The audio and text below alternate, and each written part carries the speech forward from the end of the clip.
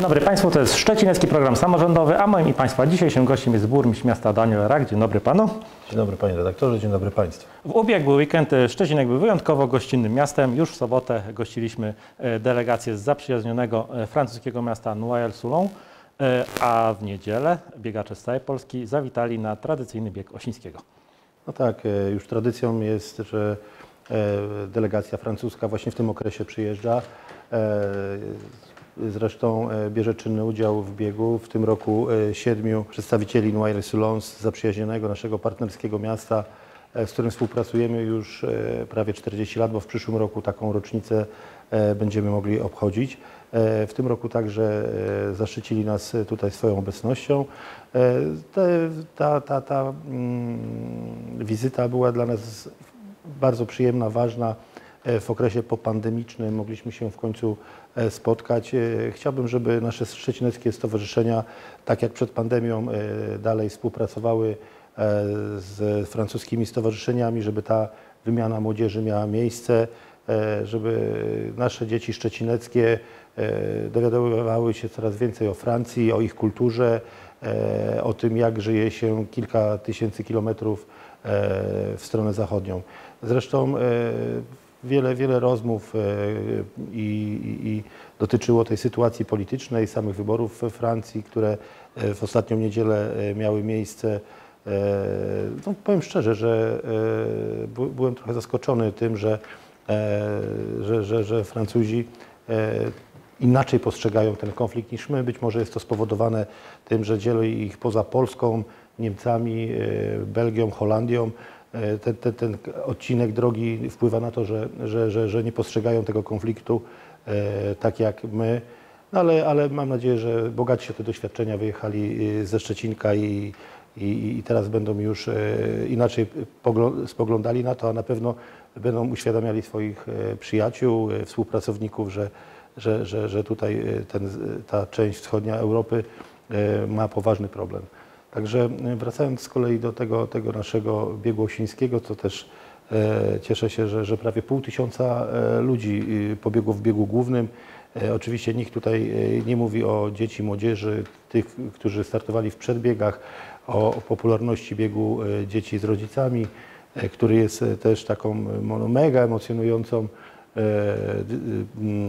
takim no, wycinkiem z tego, z, tego, z tego naszego święta biegowego.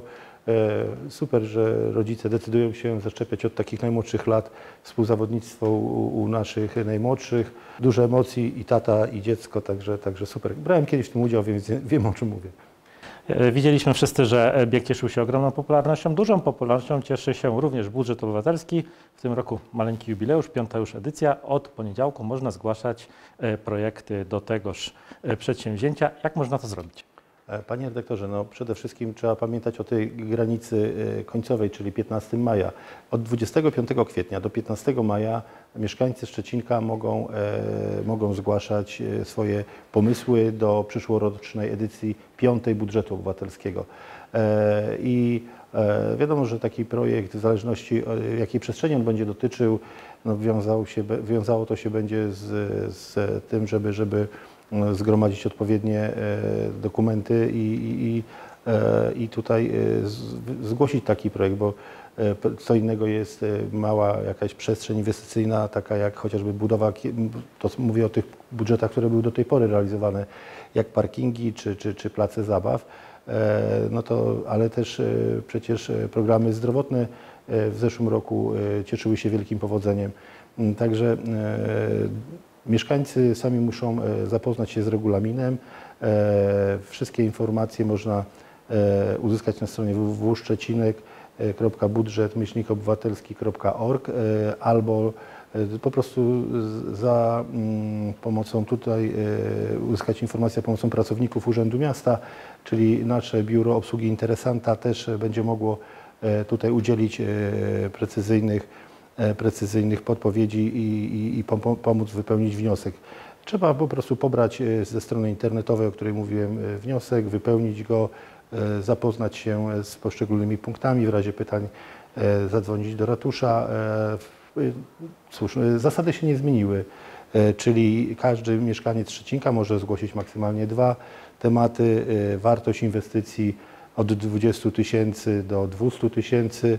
E, Cały budżet, mam nadzieję, że przyszłoroczny to będzie, będzie zamknie się kwotą 800 tysięcy, czyli, mm, czyli najprawdopodobniej, jeżeli będą projekty o tych maksymalnych wartościach, to, to cztery najlepsze będą e, mogły być realizowane, jeżeli kwoty będą mniejsze. E, no to wiadomo, że, że pula jest stała, natomiast tematów będzie więcej.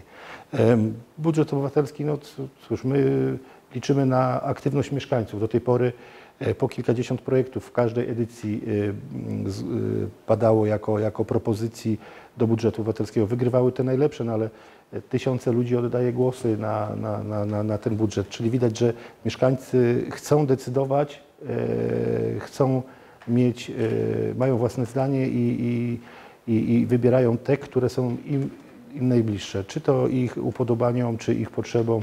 E, My jako samorządowcy, ja jako organ wykonawczy czuję się zobowiązany później do tego, żeby, żeby, żeby zrealizować te, zamierzenie, które, te zamierzenia, które e, uzyskają największą ilość głosów i cieszą się największym powodzeniem.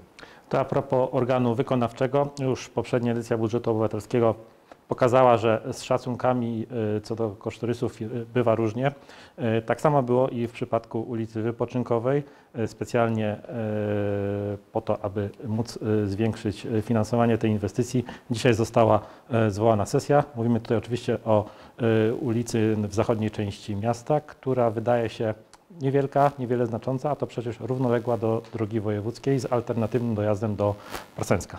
Panie redaktorze, to jest bardzo ważny ciąg komunikacyjny. To każdy, kto jeździ drogą numer 172 w kierunku, od kierunku Barwic czy w kierunku e, na Barwice, dobrze wie, że, że, że e, no poruszanie się tam na rowerze czy, czy, czy bieganie, no to to jest e, no, duże, stwarza duże niebezpieczeństwo. To jest alternatywa dla tego połączenia. Łączy ona jedną z najbardziej popularnych teraz dzielnic, jeżeli chodzi o inwestycje jednorodzinne.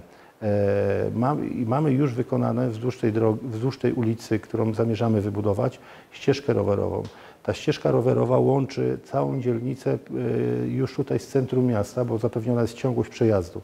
Także mm, ten odcinek na pewno e, jest bardzo istotny w celu pobudzenia tej i zwiększenia atrakcyjności te, tej dzielnicy. E, Wcześniej wybudowaliśmy odcinek ulicy Cichej, czyli wjazd e, do, tej- do tej dzielnicy e, od drogi numer 172. Teraz kolejna część inwestycyjna. Dzisiaj zrealizujemy odcinek od ronda Wielkiej Orkiestry Świątecznej Pomocy, a kończył on się będzie na ostatnich zabudowaniach, e, czyli odcinek ponad 650 metrów. Zostanie nam jeszcze e, odcinek 400-metrowy e, do połączenia się z granicą administracyjną miasta e, i, i, i tak, żeby można było dojechać do Parsęcka. Oczywiście Mm, Chciałoby się zrobić wszystko za jednym zamachem, natomiast no, my jesteśmy ograniczeni, mamy ograniczone środki e, na realizację e, inwestycji. Tylko przypomnę, że w tym samym czasie realizujemy, będziemy realizowali ulicę e, osiedle Marcelin, e, osiedle Raciborki i ulicę Koszalińską od e, skrzyżowania z Kościuszki do Mierosławskiego. Tu kolejna inwestycja drogowa. Ona, mm, proszę dzisiaj radnych o zmianę uchwały budżetowej. Szacowaliśmy, że ta inwestycja będzie wynosiła e, 1 720 tysięcy. Zrobiliśmy postępowanie przetargowe, trzy oferty.